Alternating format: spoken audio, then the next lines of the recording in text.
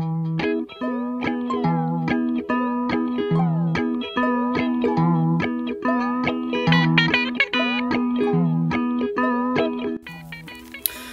J'avais pas vraiment prévu de faire des vidéos pendant l'été, mais l'univers m'a apporté une vidéo sur un plateau, euh, celle d'un youtubeur que je ne connaissais pas et qui méritait que je m'y attarde plus. Mais puisque le sujet est bien adapté à l'été, euh, je vais m'arrêter sur cette vidéo de Léo, dont l'entreprise de coaching en séduction euh, s'appelle les Philogines. Et Léo n'est pas un simple coach en séduction, non, il est aussi psychologue social et il met la psychologie au service de la séduction. Oui, euh, vous, aurez remarqué aussi que je suis un petit peu joueur euh, niveau abonné. Je devrais peut-être vendre plus de rêves plutôt que me faire chier à décortiquer des trucs qui intéressent pas beaucoup de gens. Bref, euh, Léo, il m'a amusé autant qu'inquiété avec ses propos de gros beauf. Oui, moi, je suis pas très corporate avec la profession. Les personnes qui me suivent sur Instagram euh, le savent. Du coup, ça m'a donné envie de parler d'histoire de France face à l'idée de fierté nationale, de parler d'une série Netflix à la con euh, aussi caricaturale que les propos de Léo et que Léo est tout fier d'avoir maté, de parler de Pierre Bourdieu, sociologue que Léo semble pas trop avoir compris, de parler de séduction, de rencontres et de couple, et de parler littérature féministe avec un S à féministe. Voyons donc ces 5 erreurs des Français lorsqu'ils draguent à l'étranger. Le lien est en description évidemment. Voici la première erreur.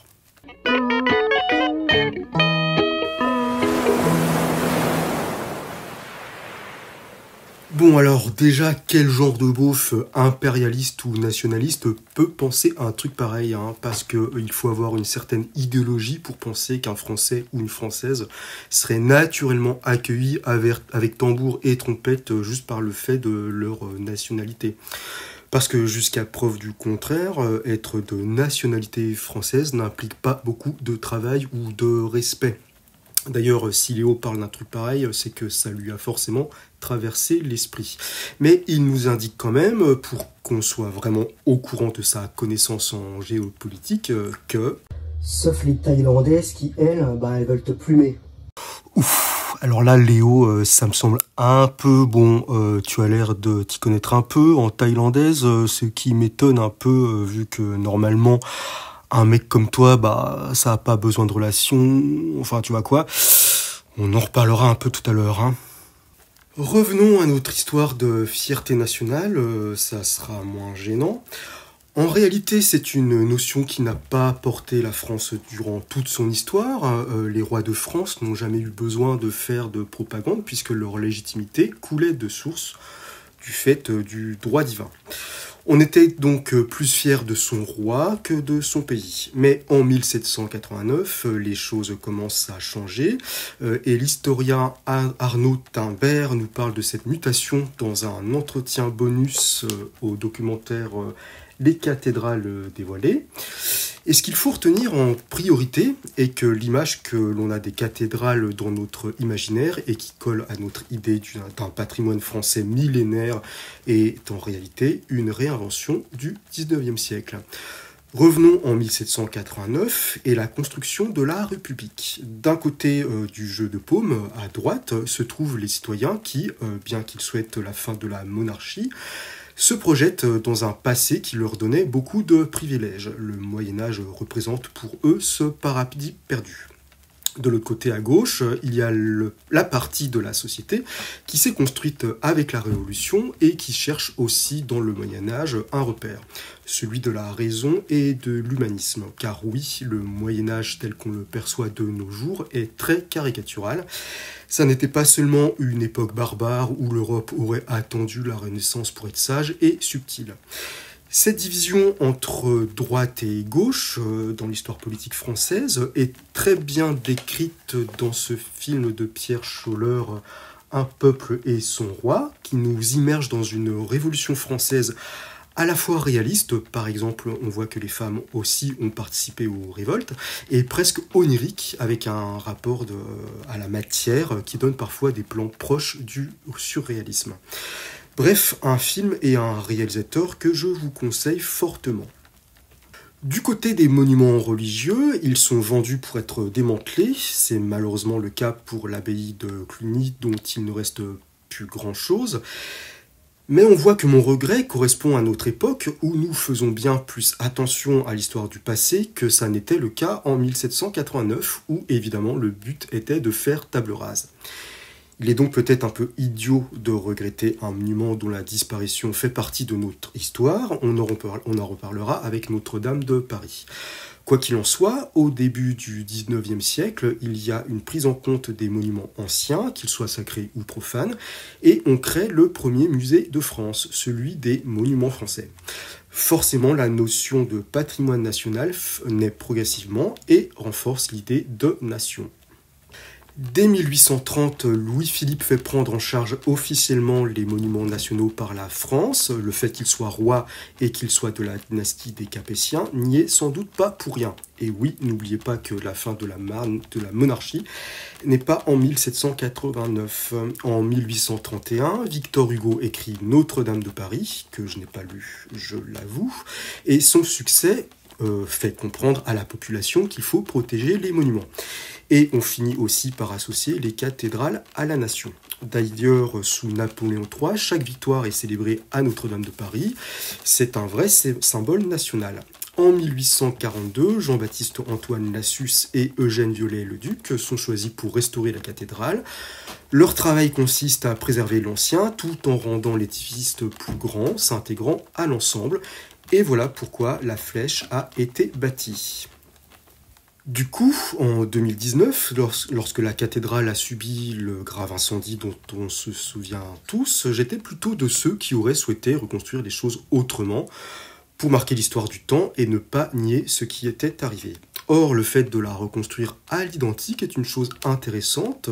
Euh, cela montre à quel point nous sommes figés à un passé imaginaire et non historique. Je pense que sans s'en rendre compte, nous avions associé la flèche à la cathédrale comme si elle était d'origine. Or, euh, un, euh, elle avait été construite dans un but politique, comme on l'a vu tout à l'heure, celui de la grandeur de la France.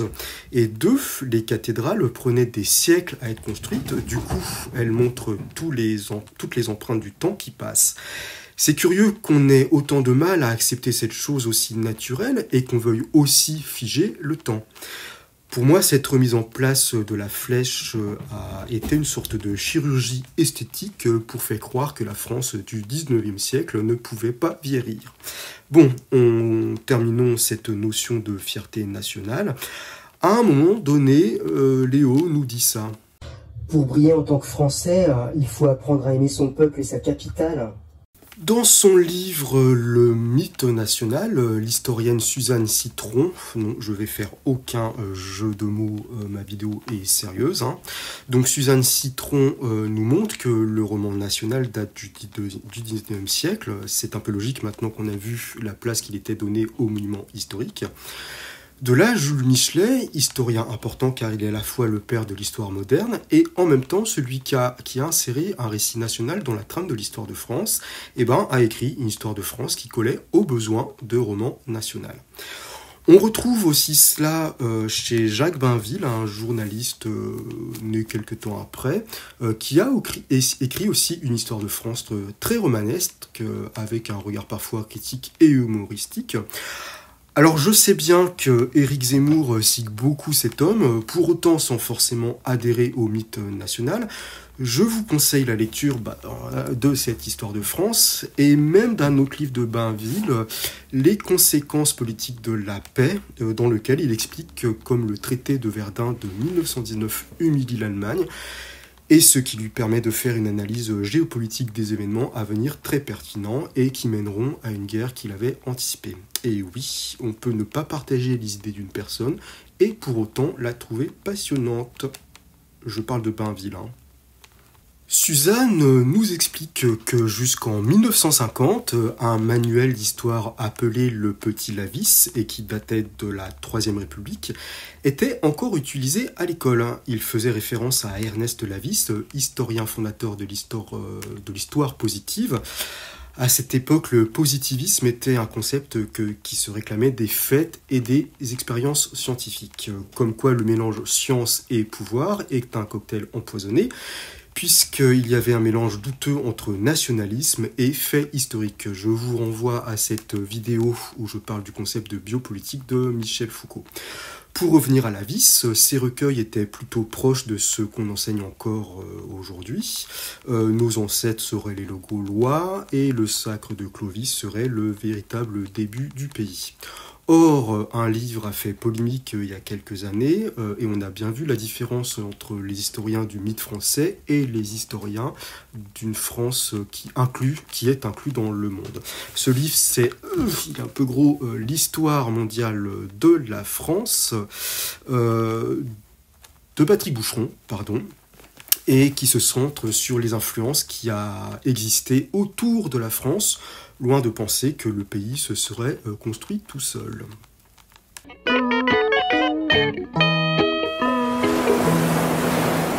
Il faut aller dans les bars seuls, c'est le meilleur moyen pour que les gens s'ouvrent à vous et que les locaux vous invitent dans leur univers. Alors Léo, je crois que tu fantasmes un peu euh, le voyage et ce qu'on pu te raconter tes potes euh, parce que euh, là t'es en plein cliché exotique. Hein. Euh, alors t'as peut-être trop regardé J'irai dormir chez vous, sauf que tu oublies que Antoine de Maximi, bah, il force un peu les gens hein, pour aller dormir chez eux. D'ailleurs, vu euh, ton nationalisme et tes accointances avec euh, l'extrême droite, euh, comme, comment tu réagirais, toi, si, disons, un homme racisé venait te demander dans la rue, caméra à l'épaule, s'il pouvait dormir chez toi? Bon, disons qu'en fait tu kiffes pas trop, j'irai dormir chez vous. Prenons ton exemple. T'es avec tes potes trop stylés, euh, bien blancs et super musclés, euh, dans un bar euh, à vin, celui que tu préfères. Et là, il y a un mec racisé qui entre et s'assoit seul à une table. Tu es sûr, Léo, que toi et tes potes, vous allez engager la conversation et lui faire découvrir votre univers? C'est rigolo quand même, hein, l'idée que tu te fais de la place à aller, de ta place à l'étranger. ça sent un peu la supériorité nationale, ça non? Ou peut-être le colonialisme, je sais pas. Euh, en fait, en y réfléchissant, euh, non, j'espère pas pour cet homme que vous allez lui faire découvrir euh, votre univers. Hein.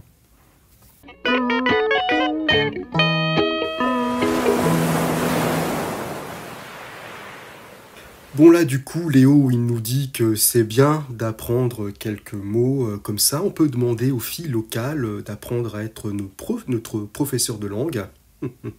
et de nous punir si on se trompe.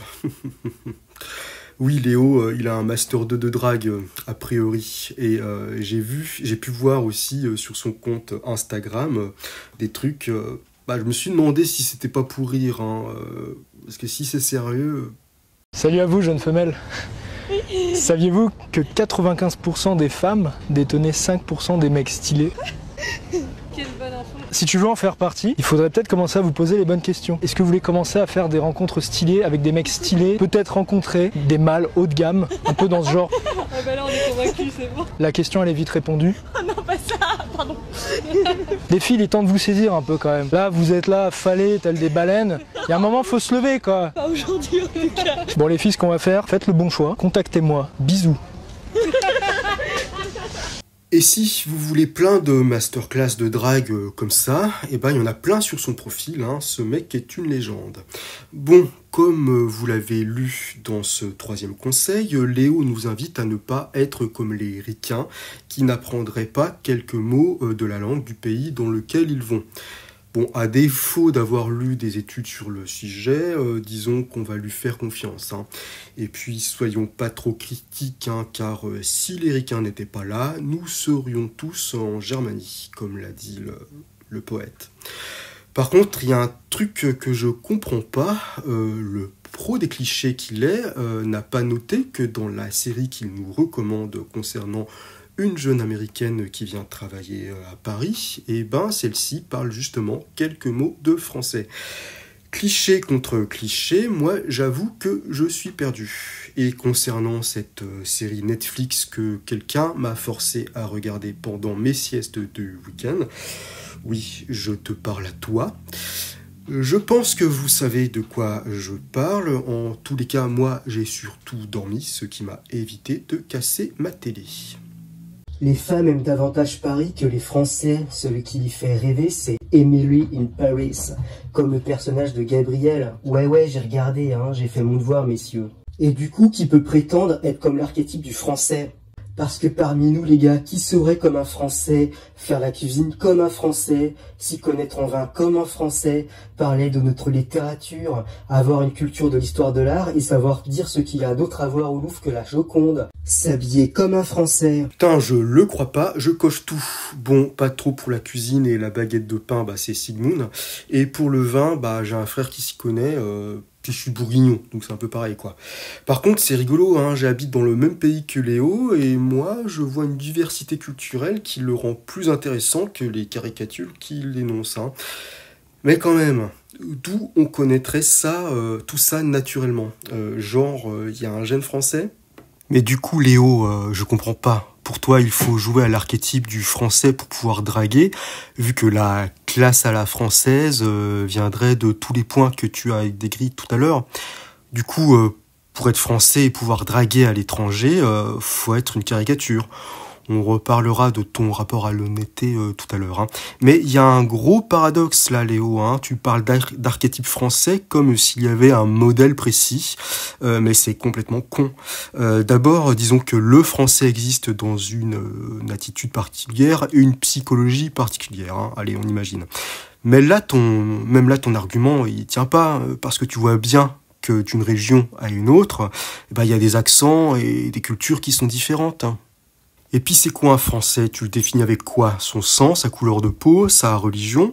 Tes amis euh, appellent français de souche, un français qui est là depuis des millénaires, euh, mais alors tu fais quoi de l'Alsace-Lorraine par, exemple, que la France avait gaulé plusieurs fois à l'Empire germanique entre le XVIe et XVIIIe siècle, qui a été reprise en 1871, puis redevenue française en 1918, puis de nouveau allemande entre 39 et 45. Ce sont des départements français depuis des millénaires, ça. Euh, J'imagine que tu as déjà été dragué dans le coin là-bas, euh, tu as bien vu que la culture allemande était plutôt présente, non? Et la Corse, c'est Louis XV qui la proclame officiellement en 1768. Oui, j'ai des notes, je connais pas tout par cœur. Hein. On n'est pas trop euh, sur des millénaires non plus. Et puisque tu as dû déjà draguer dans le coin, euh, tu as bien dû voir qu'il y avait certains Corses qui n'étaient pas trop à l'aise avec l'idée d'appartenir au continent. Et puis il y a aussi le duché de Bourgogne qui rallie la Bourgogne qu'on connaît aujourd'hui et la Picardie à la France en 1493 et conserve ses autres fiefs aux Pays-Bas et en Belgique. C'est pas hyper millénaire euh, comme territoire français, là non plus. Hein. Ce qui n'est pas millénaire non plus, euh, c'est la Bretagne qui devient française en 1491. Quant à elle, la Guadeloupe et la Martinique sont conquises par la France en 1635, 1676 pour la Guyane, 1710 pour la Réunion et Mayotte est achetée par la France en 1841 et devient un département en 2011. Si tu comptes bien, hein. Quant à la religion de France, euh, qui serait le catholicisme, tu te souviens pourquoi Clovis est baptisé? Tu te souviens que c'était purement politique euh, pour s'allier avec le pape?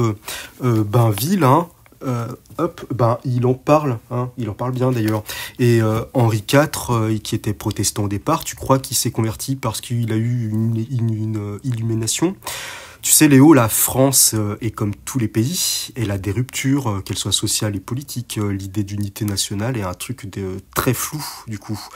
Et en 39-45, quand la majorité des Français étaient pétainistes, donc dans un accord avec le principe de l'Allemagne nazie, qui étaient les bons Français? Qu'est-ce qui fait lien entre nous si ce n'est qu'une histoire de territoire? Tu sais, j'aime beaucoup le pays dans lequel je suis né, ses cultures, son histoire euh, me passionnent vraiment, mais ça fait de moi un bon français, ça?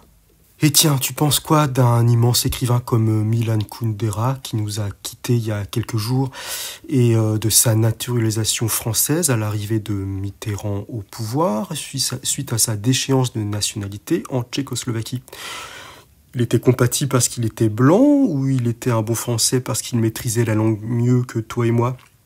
Ou alors vu que tes amis pensent qu'on n'est euh, pas français en une seule génération, c'était juste un français de, papier?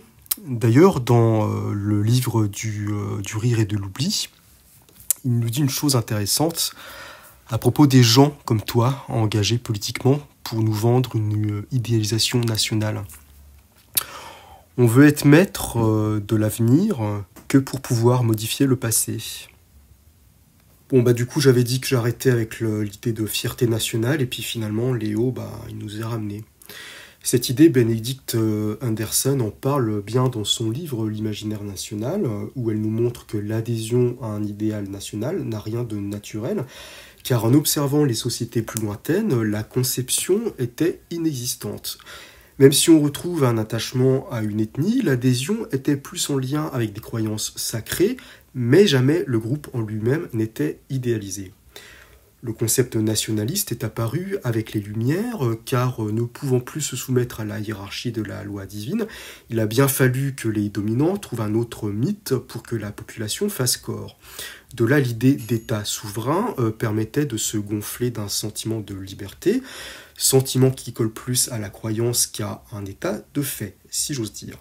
Parce qu'en invitant chacun et chacune à intégrer une identité nationale qui, bien qu'elle soit mal définie, vague et imaginaire, cela permet de faire plier une population à une propagande qui capte son attention par le paradoxe que je viens d'énoncer.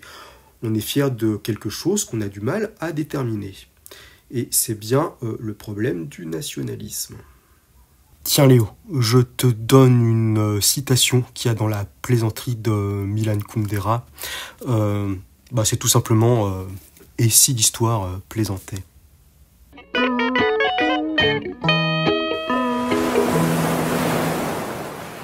Bon, donc Léo nous dit qu'il faut être curieux pour séduire et qu'il suffit juste de faire semblant et ça va passer crème. En gros, tu dragues la nana en lui faisant croire que tu t'intéresses à elle, et une fois que tu l'as tirée, euh, eh ben, euh, tu deviens euh, moins intéressant. Mais après nous avoir mis en garde contre l'erreur du manque de curiosité alors qu'il suffit de faire semblant, il nous dit l'inverse.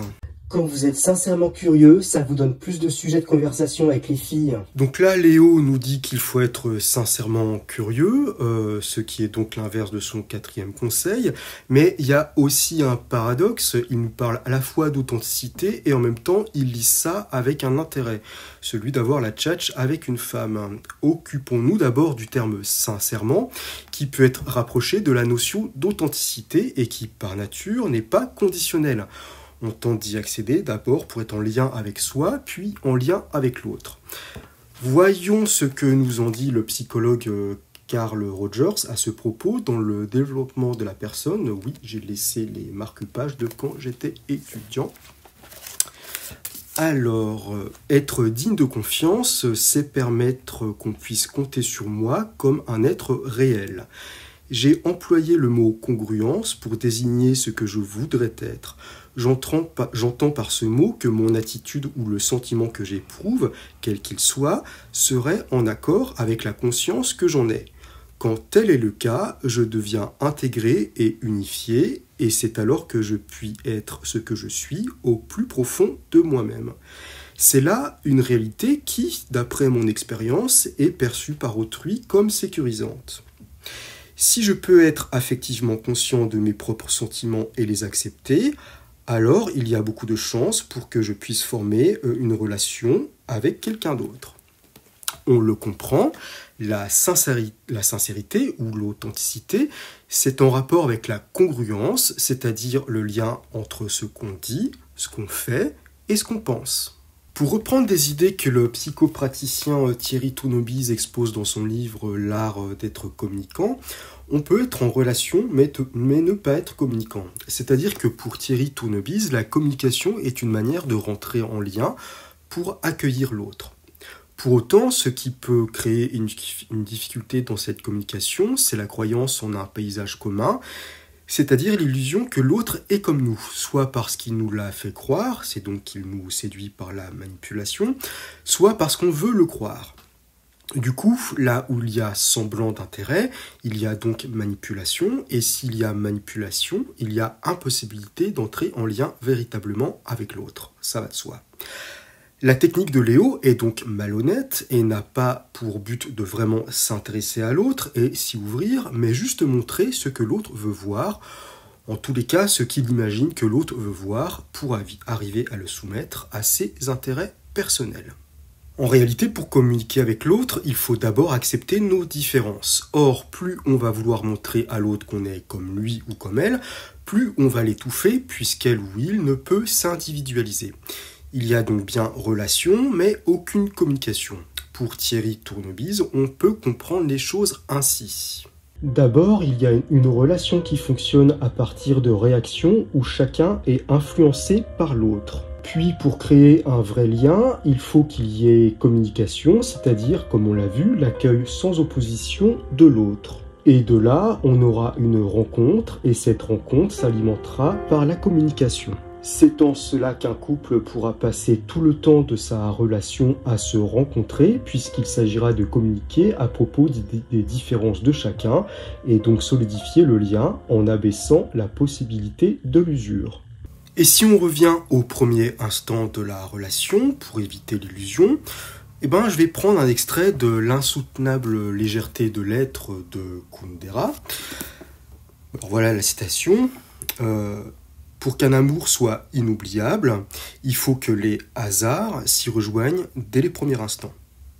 Occupons-nous maintenant du terme curieux qui, dans le contexte où nous le présente Léo, est en lien avec l'ouverture à l'autre et au monde, particulièrement celui de l'art.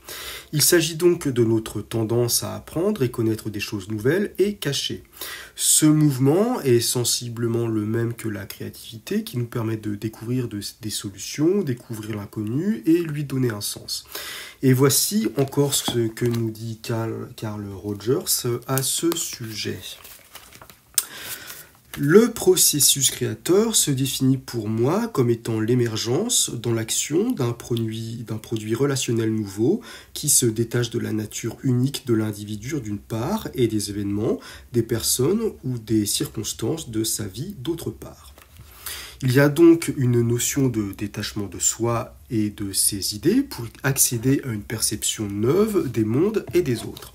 Et là, Léo égratigne son propos et les notions de sincérité et de curiosité en une, seule phrase. Je dis pas ça pour des raisons morales, mais des raisons d'efficacité.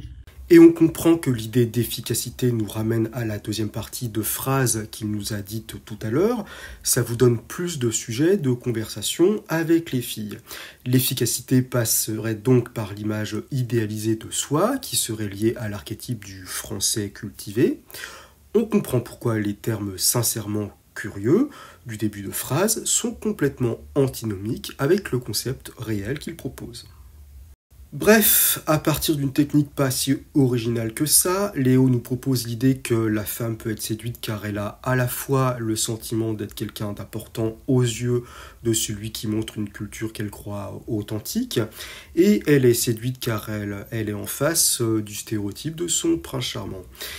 Évidemment, Léo semble connaître uniquement deux archétypes de femmes, la femme qui a gardé une certaine immaturité et qui attend de rêver et d'être euh, protégée, et la femme de droite qui attend que le mâle lui fasse la cour en tant que demoiselle fragile et en besoin d'un père impeccable pour ses futurs enfants et d'un mari idéal auprès de sa famille. On verra plus précisément tout à l'heure de quoi je parle quand je parle de femmes de droite, parce qu'il s'agit plus d'une culture que de politique. Alors à vous, mesdames qui seriez attirées par le chant de votre grillon, que ce soit par une guitare ou quelques anecdotes culturelles pour vous séduire. Je vous citerai quelques mots de Milan Kundera dans l'insoutenable légèreté de l'être. On est sans défense face à la flatterie. Le capital culturel de Bourdieu est bien plus important en séduction que le capital matériel. Bon Léo, là tu parles d'un truc que t'as pas compris du tout. Hein. Tu parles de capital culturel, mais euh, comme un truc pour investir, euh, comme on investit euh, dans le capital économique, quoi. Hein. quand on a la notion de la notion de capital matériel, ben, elle n'existe pas. Euh, je crois que tu la confonds avec le capital productif qui correspond au bien d'une entreprise. Euh, bref, tu as tenté de trouver un autonyme à capital culturel parce que tu n'as pas compris le concept. Alors je t'explique. D'abord, la notion vient de Pierre Bourdieu et Jean-Claude Passeron, le co-auteur des premiers livres importants de Bourdieu, mais qui est souvent oublié. Euh, les deux auteurs parlent de cette notion dans leur livre La reproduction, et, euh, et elles désignent les inégalités culturelles, c'est-à-dire le niveau d'études, le rapport à l'art, les biens culturels ou même le vocabulaire, euh, et dont la valorisation se fait dès l'école, c'est qui creuse les différences entre classes sociales.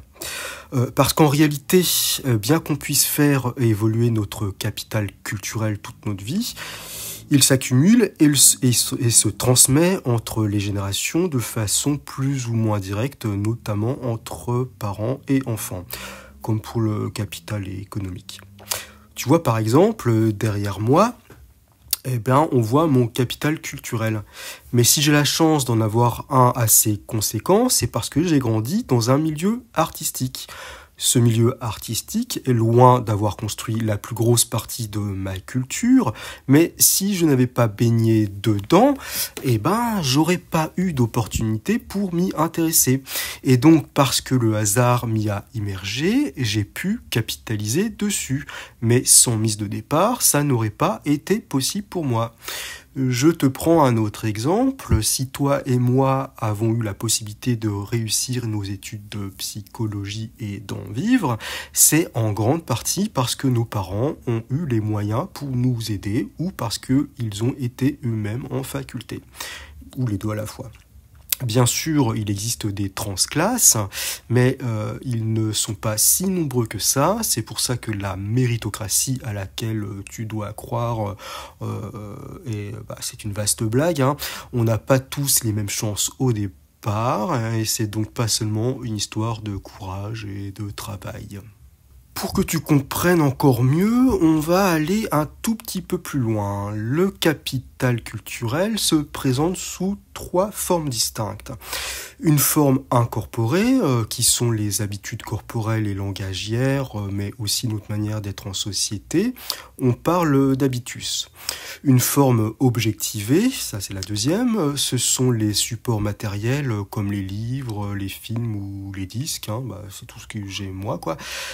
comme je le disais tout à l'heure, on peut s'approprier ce capital s'il a déjà pu être incorporé suivant la sociologie de notre famille. Une forme institutionnalisée, elle correspond à la valorisation des études longues et universitaires contre les formations techniques qui sont encore de nos jours jugées inférieures, comme s'il n'existait pas d'intelligence manuelle. On a donc toujours tendance à avoir plus de respect euh, pour un médecin que pour un plombier, et c'est pour cette raison que moi, je n'appelle jamais les médecins docteurs ou les avocats et les avocates maîtres, parce que je juge indécent de catégoriser les individus suivant leur titre universitaire. Et qu'en plus le titre de docteur et de maître euh, sont des titres universitaires qui n'appartiennent pas qu'aux médecins et aux avocats. J'espère t'amuser, mais une personne m'avait contacté par SMS pour que je la reçoive en consultation, mais j'avais plus de place. Je te laisse lire euh, notre échange.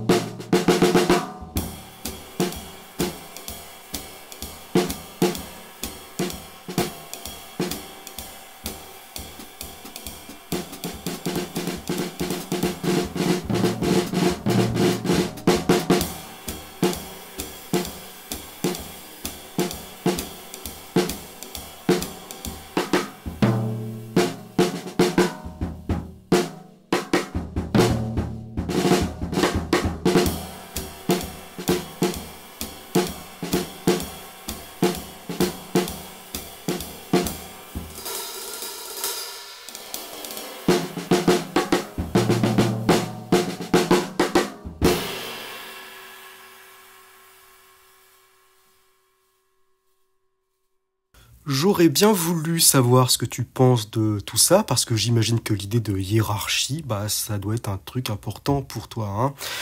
Bref, tu comprends bien avec mes explications que le capital culturel, ça peut pas être une stratégie puisque c'est un moyen, un moyen d'évaluer une situation et pas une forme d'argent à accumuler comme on met des pièces euh, dans un porte-monnaie. Pour terminer sur l'idée selon laquelle la culture peut être un moyen de séduire, parlons un peu euh, de l'art du roman de Milan Kundera. Dans ce livre, il a donné un nom aux personnes qui voient dans l'art un intérêt qui est autre qu'artistique ou esthétique.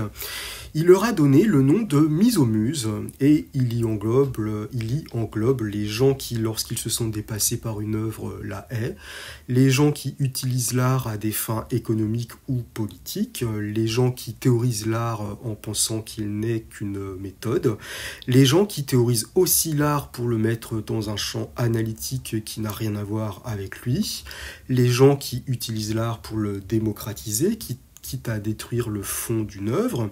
Et je pense que si Milan Kundera avait vu la vidéo de Léo, il aurait ajouté les gens qui utilisent l'art pour séduire.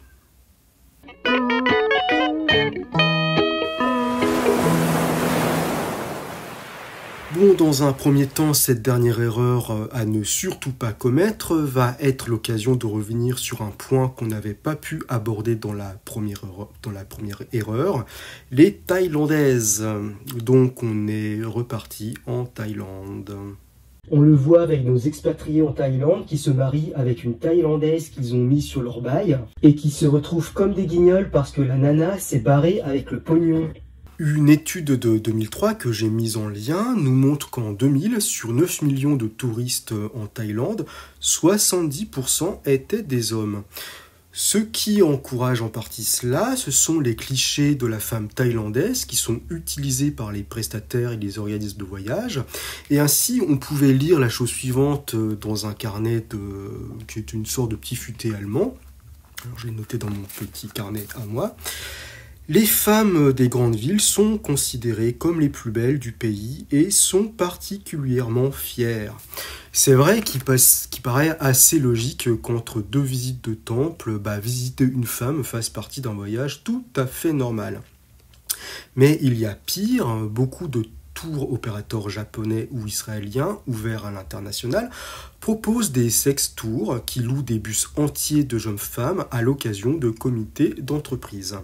Le plus commun reste le salon de massage qui amène une masse importante de consommateurs nationaux ou internationaux. Et vu les bénéfices que rapportent ces endroits, l'État se soucie peu de l'éthique même s'il fait des campagnes de sensibilisation. Les jeunes femmes qui se prostituent viennent généralement des campagnes qui, pendant les saisons agricoles mortes, viennent à Bangkok, Chiang Mai ou Pattaya pour ne pas sombrer dans la misère. On peut bien se demander s'il s'agit là d'une prostitution choisie, d'autant que la pédophilie est très courante dans le pays. Plus de 200 000 enfants seraient exploités par l'industrie du sexe. Bref, on est totalement euh, dans un livre de Michel Houellebecq qui est qui là, voilà, plateforme qui parle de la mondialisation euh, et du tourisme sexuel. Et je pense que ce vieux dégueulasse a dû euh, tester pour pouvoir en parler, hein, pour pouvoir écrire. Une telle situation me rappelle aussi un film de Laurent Cantet, euh, vers le sud, où bah, il est question d'une femme qui part faire du tourisme sexuel en Haïti, pays qui a été pendant une période assez propice à ce type d'activité une Thaïlande pour femmes hétéro en quelque sorte. Du coup, Léo, de quoi tu parles quand tu parles des Thaïlandaises qui n'en voudraient qu'au pognon des hommes occidentaux? Tu te rends bien compte que ton propos est aussi raciste que misogyne et que surtout il est hors sol, hein. Enfin j'espère, hein. Parce que si les femmes attendent sans doute de plumer des hommes riches, tu crois pas que c'est parce que ces mêmes hommes passent leur temps à leur montrer leur pognon pour euh, abuser d'elles Et pourquoi tu parles des Thaïlandaises spécifiquement? Tu te dis pas que si tu as entendu parler de ce type de situation, c'est parce que tes potes allaient justement faire leur marché à la femme là-bas? D'ailleurs, t'en parles. Hein. Tu suggères bien qu'il y a un de tes clients qui s'est fait avoir là-bas. Qui est vraiment victime, Léo? Alors bien sûr, euh, tu nous dis euh, dans ton conseil euh, qu'il ne faut pas utiliser son pouvoir d'achat pour séduire. Mais du coup, c'est légèrement paradoxal avec ce que tu dis. Par quel miracle tes potes se sont fait plumer si ce n'est justement en utilisant leur pouvoir d'achat? C'est un peu dingue ton truc, hein. Tu invites à ne pas le faire, mais en même temps, concernant tes potes, tu inverses le problème, quoi.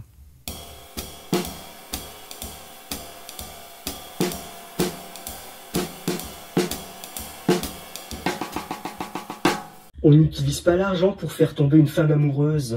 On utilise l'argent pour augmenter le niveau de la relation, faire vivre de bonnes expériences à sa copine. Mais quelle femme s'intéresse à ce que propose Léo? J'en ai parlé tout à l'heure et vous n'avez pas besoin de moi pour le savoir, les stéréotypes ont la vie dure et encore de nombreuses femmes veulent rêver, être protégées et trouver l'homme de leur vie, c'est-à-dire euh, ce qui va ressembler à leur rêve.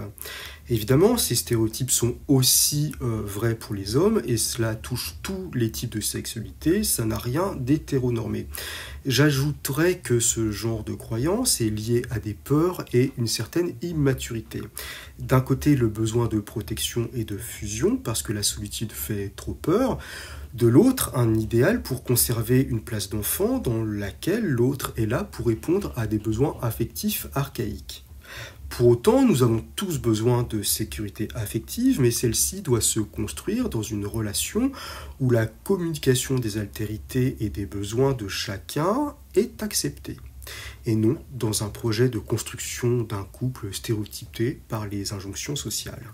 Mais tentons d'aller plus loin parce qu'au-delà des idéaux très communs du couple normalisé et de la soumission que peut induire une telle vision de la femme, N'oublions pas que Léo se revendique d'une droite nationaliste, il faut donc s'intéresser à ce qu'est une femme de droite.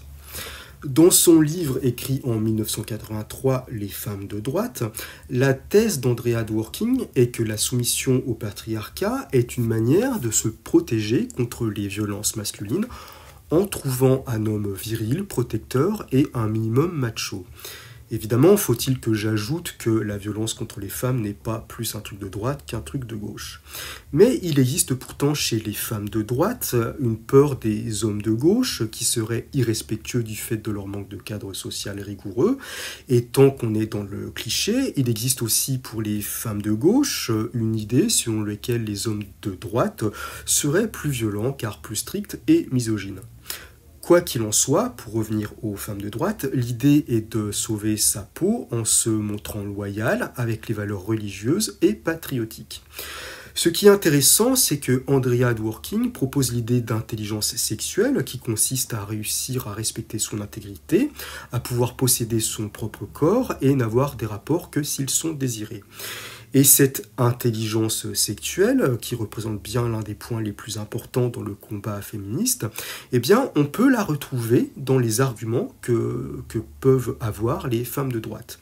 L'abstinence, les rapports uniques au sein du mariage et l'essentialisation de l'identité de femme sont aussi des moyens d'avoir le contrôle sur son corps. Bah, ça peut un peu troubler, mais c'est quand même un petit peu vrai aussi. Je vais donc vous lire un extrait du livre d'Andrea Dworkin pour que vous compreniez encore mieux cette logique. Les femmes de droite ont examiné le monde, elles trouvent que c'est un endroit dangereux, elles voient que le travail les expose à davantage de dangers de la part de plus d'hommes, il accroît des risques d'exploitation sexuelle. Elles voient que le mariage traditionnel signifie se vendre à un homme plutôt qu'à des centaines, c'est le marché le plus avantageux.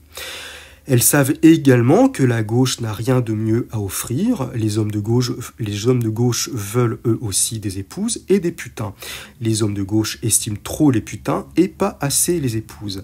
Les femmes de droite n'ont pas tort. Elles craignent que la gauche, qui élève le sexe impersonnel et la promiscuité au rang des valeurs, les rendra plus vulnérables à l'agression sexuelle masculine, et qu'elles seront méprisées de ne pas être aimées. Elles n'ont pas tort.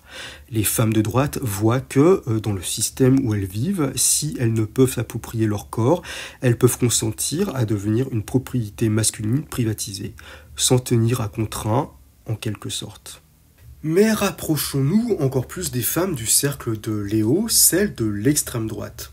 Dans son livre Les nouvelles femmes de droite, Magali Della Souda nous montre que, suite au mouvement contre le mariage gay euh, de la Manif pour tous, des collectifs de femmes antiféministes sont nés et parfois euh, sont réapparus.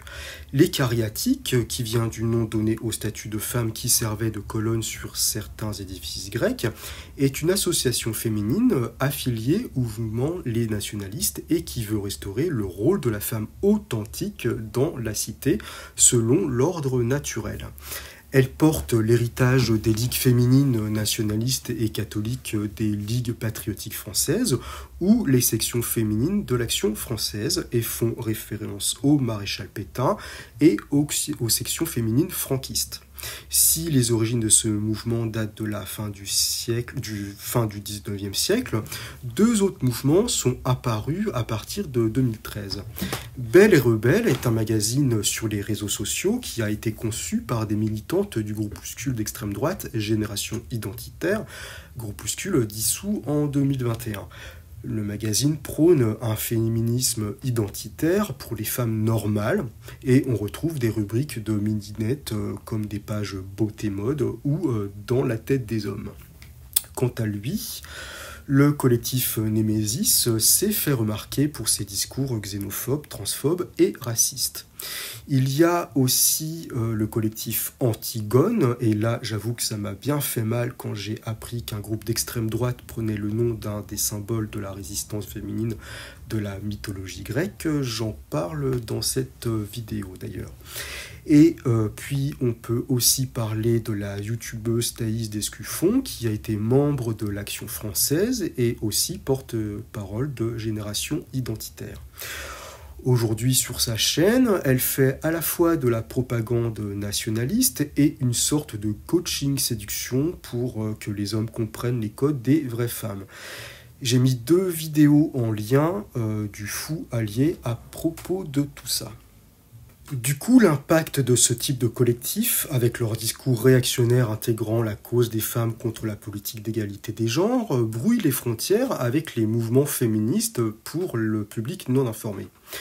En valorisant une expérience féminine, elle revendique une redéfinition du terme féminisme pour en faire un nouveau contenu. Pour autant, ces nouvelles femmes de droite sont contre les droits des femmes en ce qui concerne le droit à l'avortement ou les techniques reproductives. Il y a donc un lien intéressant avec Léo qui paraît sympa et beau gosse, mais qui distille dans ses discours des idées réactionnaires, exactement comme les jeunes femmes d'extrême droite qui montrent un physique dans les normes de la beauté traditionnelle et qui, sous des aspects de sainte nitouche, énoncent des concepts très violents. D'ailleurs, comme pour euh, faire un lien, Léo a édité un guide d'autodéfense intellectuelle antiféministe.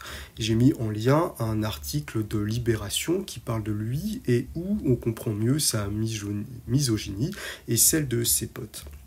Et puis si vous voulez aller encore plus loin, il y a ce livre de Paul Conge, Les Grands Remplacés, qui nous parle de la sphère masculiniste d'extrême droite dans laquelle euh, Léo évolue. Tout petit passage lui est consacré d'ailleurs. Ça y est, on a fini Léo.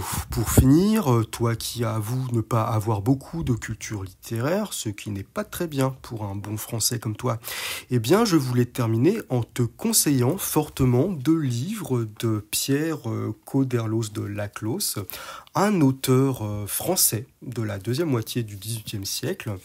Alors, il y a le chef-d'œuvre les, liaisons dangereuses euh, que je suis en train de lire et qui nous montrent euh, que les hommes sont aussi tordus que les femmes. Et il y a un autre livre de cet auteur très intéressant de l'éducation des femmes, qui est un livre féministe, dans lequel il nous dit euh, ces mots très intéressants, alors on les trouve en quart de couverture. Venez apprendre comment, née compagne de l'homme, vous êtes devenu son esclave. Apprenez qu'on ne sort de l'esclavage que par une grande révolution. Cette révolution est-elle possible? C'est à vous seul de le dire. Allez, en te souhaitant de bien bien pécho, on va terminer avec tes derniers mots. C'est bien de faire du pognon, les gars. C'est bien quand tu partages avec une petite gonzesse. waouh, il y en a qui utilisent encore le mot gonzesse.